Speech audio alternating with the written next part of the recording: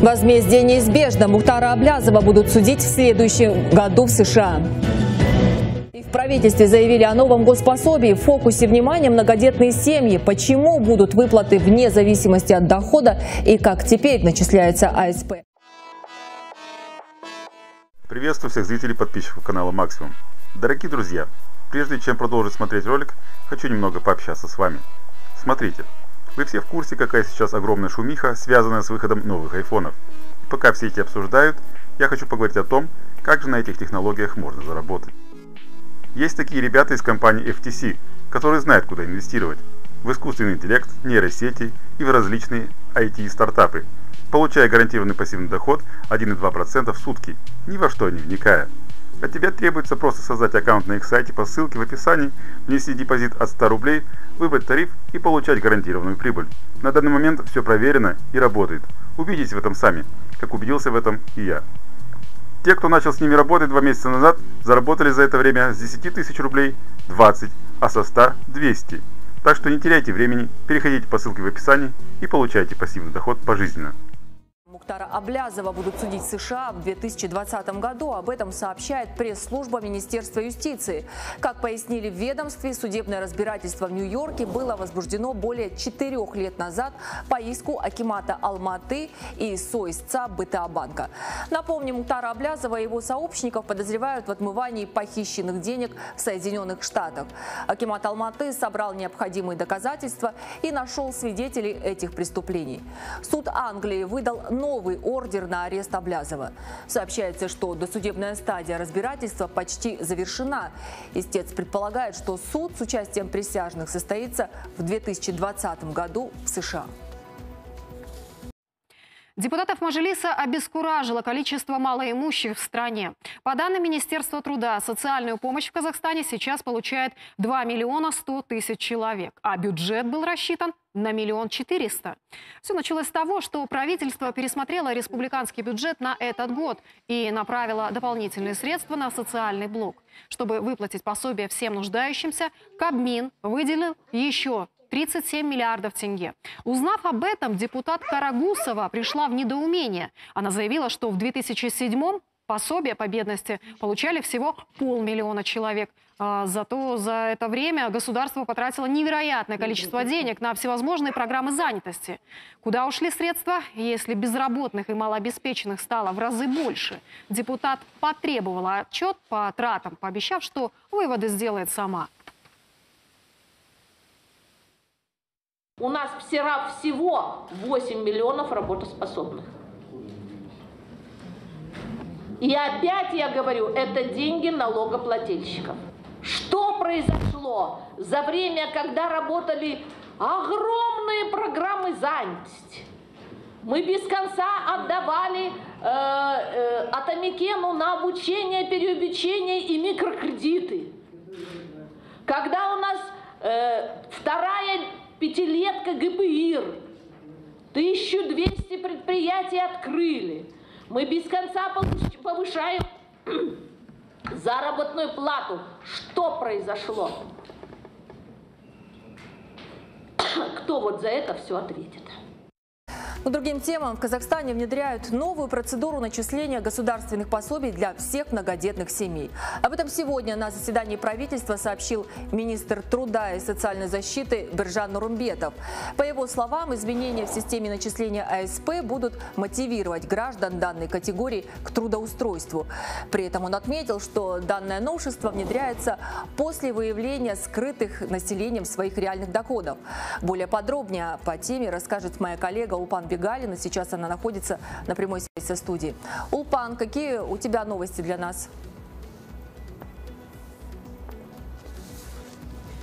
Спасибо. Мадина. Да, действительно, тема начисления АСП сегодня в правительстве получила неожиданный поворот. Новость касается многодетных семей. Так, министр труда и социальной защиты Биржан Нурумбетов сообщил о изменении процедуры а, начисления пособия. Предлагается установить новое. Оно будет выплачиваться многодетным семьям вне зависимости от их дохода. Таким образом, выплата составит от 42 тысяч тенге до 73 тысяч. При этом а, выплата на каждого ребенка в среднем будет варьироваться варьироваться от 10-11 тысяч тенге. Сумма же будет также зависеть от места проживания семьи, то есть в каком регионе они проживают. Предлагаю послушать фрагмент выступления министра Нурмбетова. Отдельно наши граждане, они получили э, незаконно адресную социальную помощь, сокрыв свои доходы. Э, естественно, э, здесь причина была и в том, что были определенные временные ограничения при назначении нового вида АСП в апреле-мае месяце. Сейчас система, она работает. На входе можно проверить все данные по получателю. У нас работает система ЕХАЛ, которая доведена до последнего сельского акима. И на входе по ИИН каждого гражданина можно проверить все его данные, в том числе по доходам. А вот адресная-социальная помощь сохраняется, но с условием того, что хотя бы один из родителей должен быть трудоустроен. В случае, если они будут отказываться работать, а, адресная социальная помощь начисляться не будет. Таким образом, получать данную э, выплату будут те семьи, которые действительно попали в трудную жизненную ситуацию. А, то есть их прожиточный минимум составляет менее 70%. Также малообеспеченным семьям предлагается а, ряд социального пакета, который включает в себя выдачу канцелярских канцелярских товаров, предоставление а, стоматологических услуг и детское питание. Улпан, ну а размер нового пособия от чего будет зависеть? Почему цифра варьируется от 42 до 73 тысяч тенге? Да, Мадина, как раз все эти вопросы сейчас разъясняет э, в СЦК. Мадина, вам слово. Угу, спасибо. Ну, в СЦК работает наш корреспондент Жалгаз Азганбаев. Министр труда пояснил журналистам не только нюансы нового механизма выплаты госпособия, но и довольно подробно рассказал, кто и как смошенничал э, с АСП. Жалгаз, если вернуться к основной теме, то как будет происходить дифференциация суммы от 42 до 73 э, по количеству детей? Да, Мадина, добрый день. Как вы подметили, это действительно а, верная информация. Теперь а, госпособие будет выплачиваться всем многодетным семьям вне зависимости от их дохода. То есть размеры госпособия будут дифференцированы в зависимости от количества детей. В среднем по 10-11 тысяч на каждого ребенка. То есть а, как это будет выглядеть, а, сообщил сегодня на брифинге в министр труда и социальной защиты населения Республики Казахстан Биржан Нурумбетов. Вот о чем говорил глава ведомства. То есть э, дифференцированные размеры в зависимости от количества детей в семье. То есть если в семье 4 ребенка, то сумма выплаты составит 42 500 тенге. Если 5 детей 53 125 тенге. Шестью детьми это будет 63 750 тенге. Ну а семью детьми, то есть 73 375 тенге. Вот такие выплаты ожидаются. Также министр сообщил о пороговом критерии для назначения в 70% от прожиточного минимума он останется. Ну а сам прожиточный минимум на 2020 год установлен в размере 31 183 тенге.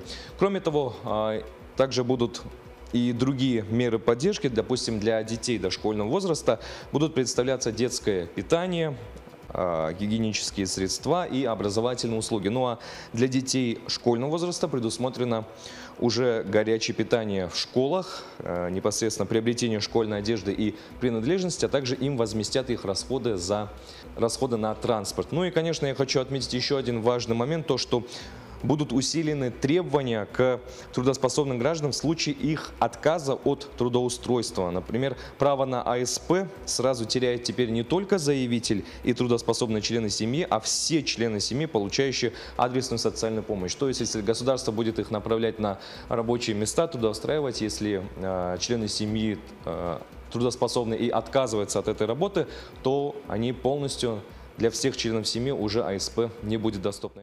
Дорогие друзья, Пожалуйста, высказывайте в комментах по поводу увиденного и услышанного. Очень интересно ваше мнение. Также подписывайтесь на канал, не забывайте нажать на колокольчик, чтобы моментально получать уведомления о появлении новых роликов на канале. И помните, во всем есть смысл, но не везде он нужен. Ну а кроме того, настоятельно рекомендую к просмотру следующие ролики на канале Максимум, которые, может быть, вы пропустили, ссылки на них в описании.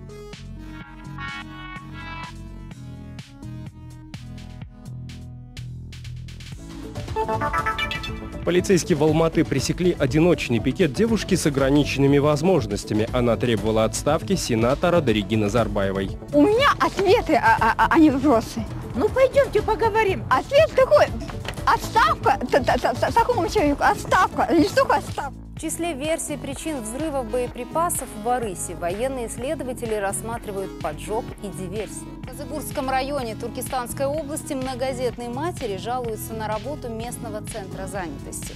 Они уверяют, что уже несколько недель не могут сдать документы из-за перебоев в работе информационной базы. Однако даже если база заработает, денег на адресную социальную помощь все равно нет. На Доктубе продолжает ставить экологический эксперимент. Это заявление властей вряд ли обрадует горожан. Глава МВД Тугумбаев рассказал о задержании 6 июля на митингах в обеих столицах, а его ведомство опубликовало видео своей версии происходящего в стране Нур-Султане и Алматы. На казахстанском ТВ участники митинга и юрист дали советы, что делать, если вас задержали. Новое обстоятельство в деле по убийству Дениса Тена. Удовлетворен протест генерального прокурора по одной из участниц преступления. И как теперь без Бразилии? Казахстанцам рассказали, в какие страны им лучше не стоит ездить в отпуск.